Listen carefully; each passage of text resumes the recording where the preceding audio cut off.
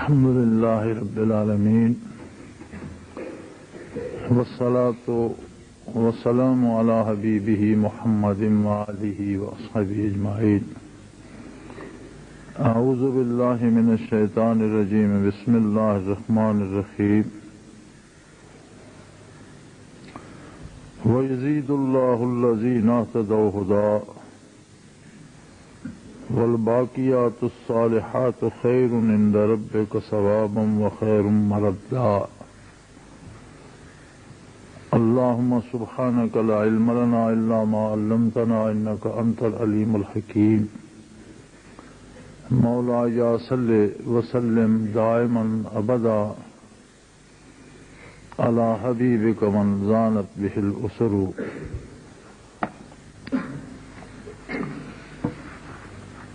मरूर जमाना ने और सवा चौदह सौ साल की तवील मुसाफतों ने बहुत सी रसूमात को दीन में दाखिल कर दिया है।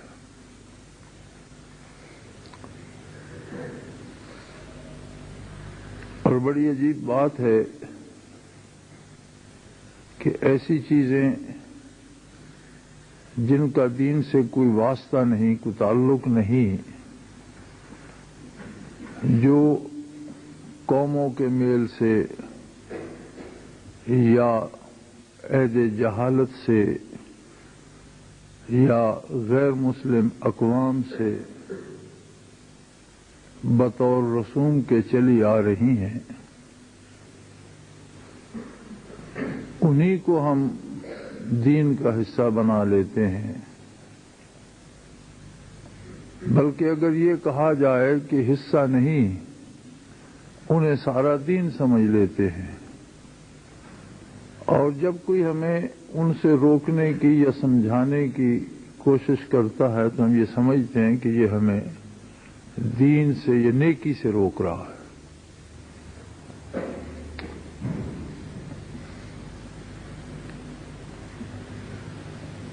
इन चौदह सदियों में मुसलमान मुख्तलिफ़ फिरकों में बट गए, मुख्तलिफ़ नजरियात में ढल गए, मुख्तलिफ़ किरदारों में चले गए। लेकिन याद रहे कि इख्तलाफ और मुखालफत दो अलग चीज़ें हैं। इख्तलाफ एक फितरी चीज़ है, इंसानी मिजाज का हिस्सा है, और वो ज़रूर होता है और वो बुरी बात नहीं है। इख्तलाफ साहब कराम रिजवान अजमैन में भी था। हजूर सलाम जो इरशाद फरमाते, उसे समझने में लोगों में इख्तलाफ हो जाता था। मसलन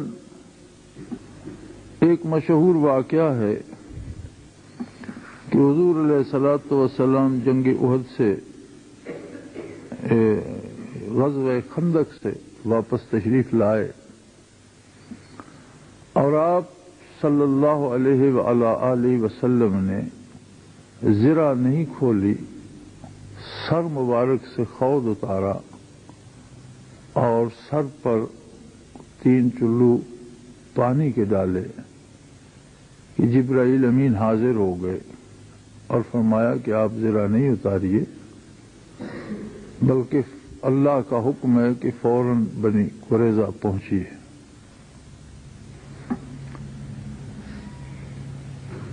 तो हजूर सलाम ने हुक्म दिया कि मुजाहिदीन से कहा जाए, कोई भी जिरा नहीं खोलेगा। बनु कुरैजा पहुंचो और इस तरह पहुंचो कि असर की नमाज़ वहाँ जाकर पढ़ो। अब ये जुमला बड़ा सादा सा था कि असर की नमाज़ वहाँ जाकर पढ़ो। चंद मील फासला था शहर से। रास्ते में असर का वक़्त दाखिल हो गया। तो बाद सहाबा की राय ये थी कि हजूर सलाम का ये फरमाना कि असर वहाँ जाकर पढ़ो से मुराद ये है कि वहाँ जल्दी से जल्दी पहुंचो। नमाज़ तो अदा करनी है, वहाँ पहुंचकर भी करनी है, यहाँ भी करनी है तो उसे मौखर करने का क्या फ़ायदा? बर वक्त क्यों ना पड़ी जाए? अव्वल वक्त में क्यों ना पड़ी जाए? लेकिन उनके अलावा एक तबका ऐसा था जिन्होंने कहा कि हुजूर ने फरमाया, असर वहाँ जाकर पढ़ो। अब वो मौखर वक़्त में होती है, या देर से होती है, या अव्वल वक़्त ज़ाया होता है, जो भी हो जाए, हम असर की नमाज़ वहाँ पहुंचकर अदा करें। चुनाचे पहली राय वालों ने असर अदा कर ली। दूसरी वाले आगे बढ़ते रहे, रुके नहीं। उन्होंने वहाँ पहुंचकर अदा की। जब वो फारिग हुए तो ये भी पहुँच गए। नबी सलाम खुद जलवा अफरोज हुए और पहुँच गए वहाँ। अब ये इख्तिलाफ था। बारगाह नबी में पेश हुआ। हुजूर ने सुनकर सुकूत इख्तियार फरमाया। किसी को दुरुस्त नहीं फरमाया, किसी को गलत नहीं फरमाया। आपके सुकूत फरमाने से मुराद ये है कि दोनों आरा हुजूर ने कबूल कर ली। इसलिए कि इंसानी फाम में शूर में तफावत है। दोनों जमातें मुखलिस थी, दोनों जमातें दिल से इतात गुजार थीं राय का इख्तलाफ अपनी अपनी समझ की बिना पर हुआ कि एक तबके ने यह समझा कि मुराद ये है कि फ़ौरन पहुंचो, नमाज़ को मौखर करना मुराद नहीं है तो नमाज़ तो वहाँ जाकर भी अदा करनी है तो यहाँ बर वक्त क्यों न कर ली जाए? दूसरों ने कहा, नहीं, जो अल्फाज हजूर ने फरमाए, उनके मुताबिक अमल होगा बल्कि नबी सलाम के इर्शादात में मौजूद है, जिसका मफहूम है कि इख्तलाफ बायस बरकत है और बात के सारे पहलू वाजे हो जाते हैं। इसीलिए सहाबा में जो इख्तलाफ था, उसे इस्तेलाहन मशाजरात सहाबा कहते हैं। उन्हें जंगो जदल या लड़ाई नहीं कहते, बल्कि जब साहिब किताब लिखते हैं, शारहीन हदीस लिखते हैं, मर्रखीन लिखते हैं मुफसरीन कराम लिखते हैं तो वो लिखते हैं, मशाजरात साहबा मशाजरा शजर से है, दरख्त से। जिस तरह दरख्त से ज़्यादा टहनियाँ फूटें, ज़्यादा पत्ते निकले तो साया घना हो जाता है। इसी तरह ये जो आरा का इख्तलाफ था साहबा का, उसने बाद में आने वालों के लिए हजूर सलाम के इर्शादात के सारे पहलू वाजे कर दिए और साया घना कर दिया। ये इख्तलाफात के कोई आमीन बुलंद आवाज़ से कहता है, कोई खामोशी से कहता है, ये राय का इख्तलाफ है। बुलंद आवाज़ से भी साबित है, हुजूर से, खामोशी से भी साबित है। कोई रफा यदैन करता है, कोई नहीं करता। लेकिन जो नहीं करता, एक तकबीर पर वो भी करता है। तकबीरी उला पे तो सब हाथ उठाते हैं तो इनकार तो न हुआ। अब आगे इख्तलाफ शुरू हुआ, उसूल में तो मुतफिक हो गए कि जी रफा यदैन करना चाहिए। ये उसूल है, या आमीन कहना चाहिए, ये उसूल है। अब इख्तलाफ राय में है कि आमीन बुलंद आवाज़ से कही जाए या दिल में कही जाए। उसूल है कि रफा यदैन किया जाए। अब इस उसूल पे किसी को इख्तलाफ नहीं, सारे हाथ उठाते हैं। इख्तलाफ इसमें है कि जब भी अल्लाह अकबर कहा जाए, नमाज़ में हाथ उठाया जाए, या एक ही तकबीर उला पे उठाया जाए। ये फरुआत हैं, यानी उसकी आगे तशरीहात है। इस कोई लड़ने भिड़ने वाली बात नहीं है। इसे हुजूर ने बाय से बरकत फरमाया है और इसमें बरकत है। हमारे यहाँ इख्तलाफ नहीं हमारे यहाँ मुखालफतें हैं। कोई भी किसी एक रस्म के पीछे जो लग जाता है, आप उसे रोके नहीं, सिर्फ़ उस रस्म में शरीक ना हो तो वहाँ से मुखालफत शुरू हो जाती है।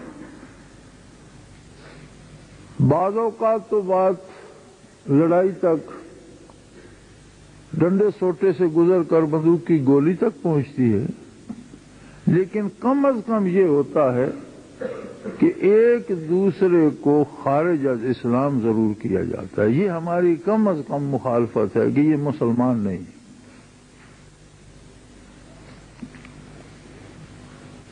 नबी सलाम के ऐलान नबूबत से पहले और ईसा सलाम की तबलीग के मफकूद होने के बाद जो जमाना दरमियान में गुजरा, उसे ऐद फतरत कहते हैं, जिसमें किसी के पास कोई खबर नहीं थी।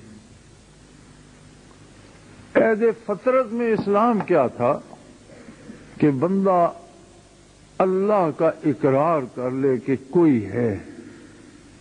इस कायनात का खालिक मालिक अल्लाह है। अब वो कैसा है, उसकी सिफात क्या है, ये बताना तो नबी का काम था। उसकी इबादत का क्या तरीका, ये बताना तो नबी का काम था, किताब का काम था। जब तक किताब नाजिल नहीं हुई, जब तक नबी मबूस नहीं हुआ तो सिर्फ़ ये मान लेना नजात के लिए और मोमिन होने के लिए काफ़ी था। तो नबी सलाम की तशरीफ़ ले जा रहे थे, सामने से एक स्या फाम खातून आ रही थी। तो आपने उससे पूछ लिया कि, बीबी, तुम्हारा क्या ख्याल है? खुदा है? हाँ उसने कहा, बिल्कुल, खुदा है। आपने कहा तो फिर कहाँ है खुदा? उसने कहा, ऊपर बादलों में। हजूर सलाम ने फरमाया, है या मोमिना, ये मुसलमान है, मोमिना है। अब इसकी मुझसे मुलाकात हुई है। अब ये मुझ पर ईमान न लाए। अब ये मेरी बात कबूल न करे तो वो कुफर होगा। लेकिन जब तक मेरी दावत इस तक नहीं पहुँची, ये इतने ही की मुकल्लफ थी कि खुदा है। हमारे उलमाए फिका ने खसूस इमाम अबू हनीफा रहमत ताली ने फरमाया कि अगर कोई बात ऐसी करता है आदमी कि उसमें से कुफर का अंदेशा है, और अगर उस बात के सौ मानी किए जाएँ, निन्यानवे कुफर पर दलालत करते हों, और एक उसमें ऐसा माना भी हो जो कुफर पर दलालत न करता हो तो उस आदमी को काफिर न कहा जाए। इतनी उजरत न की जाए कि उसके ज़ुबान से निकला और उस पर फतवा ठोंस दिया, उसका तजिया किया जाए, उसके शूर को, उसके इलम को परखा जाए, उसकी हैसियत और उस मौके को देखा जाए, शायद किस दबाव में, किस प्रेशर में, किस परेशानी में, कौन सा कलमा उसके मुँह से निकल गया। वरना यूँ तो बेशुमार जुमले ज़ुबान जद खासो आम हैं जो बिल्कुल सरीहन कुफर हैं। मसलन कभी बरजुख की मरने वालों की बात होती है तो हमने कहते हैं, किसने देखा है? जी, जब जाएँगे पता चलेगा। अगर इसको, इसके मायने में लिया जाए तो बंदा काफिर हो जाता है। इसका मतलब है कि जो कुरान ने बताया, जो हुजूर ने बताया, उस पर आपको यकीन नहीं है आप इस इंतज़ार में कि मैं जाऊँगा तो देखूँगा। तो इसका एक माना तो ये भी हुआ कि आपको अल्लाह पर, अल्लाह के हबीब वसल्लम पर और आपकी दीवी खबरों पर एतबार नहीं तो यही तो कुफर है। लेकिन क्या आप ये समझते